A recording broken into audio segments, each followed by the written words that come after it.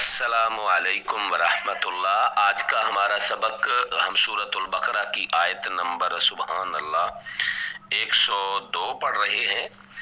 اعوذ باللہ من الشیطان الرجیم، بسم اللہ الرحمن الرحیم۔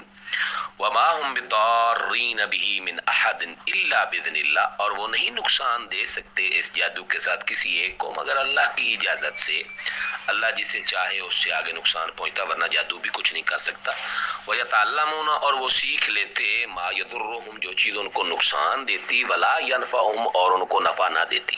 بظاہر وہ سمجھتے کہ ہم بڑی اچھی چیز سیکھ رہے ہیں۔ وَلَقَدْ عَلِمُوا، اور بے شک جان لیا انہوں نے کہ لَمَنِ اشْتَرَاهُ ہو جس نے اسے خرید لیا جادو کو مالہ نہیں ہوگا فی الآخرت آخرت میں من خلاق، اس کا کوئی حصہ۔ والا بھی سما شروب ہی اور بہت ہی برا ہے۔ ما شرو بھی انفسهم، جس کے ساتھ انہوں نے بیچا اپنی جانوں کو۔ لو کانو یعلمون، کاش وہ جانتے ہوتے، وہ جادو سیکھتے، میاں بیوی کے درمیان جدائی ہو جاتی، اور جس سے نقصان زیادہ ہوتا، نفع کم ہوتا، اور ایسے لوگوں کے لیے آخرت میں کوئی حصہ نہیں ہے، کاش یہ سب لوگوں کو پتہ چل جاتا۔ یہ اور اگر بے شک وہ آمن و ایمان لاتے وتقو اور وہ ڈر جاتے۔ تقوی اختیار کرتے لمثوبت من عند اللہ۔ خیر، البتہ ثواب ہوتا اللہ کے ہاں بہت زیادہ۔ یہ ثواب کا کام ہوتا، اجر کا کام ہوتا اللہ کے ہاں بہت زیادہ۔ لو کانو یعلم کاش وہ جانتے ہوتے۔ ان کو ایمان لانا چاہیے تھا، اللہ سے ڈرنا چاہیے تھا۔ یہ جادو وغیرہ، یہ ساری چیزیں نہ کرتے۔ یا ایوہ الذین آمنوا ایمان والو، لا تقولوا رائنا رائنا کا لفظ نہ کہو۔ وقولو اور کہو انظرنا انظرنا کا لفظ۔ واسمعو اور بات کو سنو۔ وللکافرین عذاب علیم کافروں کے لیے درد دینے والا تھا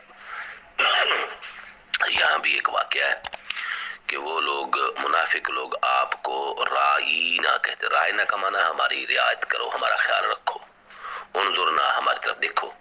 لیکن وہ رائنا کی بجائے رائینا کہتے تھے، اے ہمارے چرواہے، نعوذ باللہ۔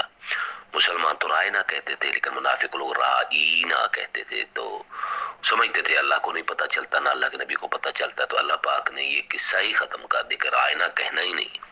انظرنا کہنا، یا ایو الذین آمنوا، ایمان والو، لا تقولوا رائنا رائنا کا لفظ نہ کہو، بلکہ انظرنا کا لفظ کو ہماری طرف دیکھیے۔ بات کو سنو کافروں کے لیے دردناک عذاب۔ اللہ الرجیم، بسم اللہ الرحمن الرحیم۔ ما یود الذین کفروا، نہیں پسند کرتے وہ لوگ جو کافر ہوئے، اہل کتاب میں سے، ولل مشرکین اور نہ مشرک لوگ۔ کیا نہیں پسند کرتے؟ ان ينزل یہ کہ اتاری جائے علیکم، تم پہ من خیرن کوئی خیر کی چیز، کوئی بلائی کی چیز، کوئی اچھی چیز، من ربکم، تمہارے رب کی طرف سے۔ واللہ یختص برحمتی، اللہ اپنی رحمت کے ساتھ خاص کرتا ہے، معیشہ جسے چاہتا ہے۔ یہودیوں کے چاہنے نہ چاہنے سے اور مشرکوں کے چاہنے نہ چاہنے سے کوئی فرق نہیں پڑتا۔ اللہ جسے چاہتا ہے اپنی رحمت کے ساتھ خاص کرتا ہے، فضل کرتا ہے، اس پہ نبوت کا، دین کا، جو بھی۔ واللہ ذو الفضل العظیم، اللہ بہت بڑا فضل کرنے والے ہیں، بڑا احسان کرنے والے بڑی خیر عطا کرنے والے ہیں، سبحان اللہ۔ وسلام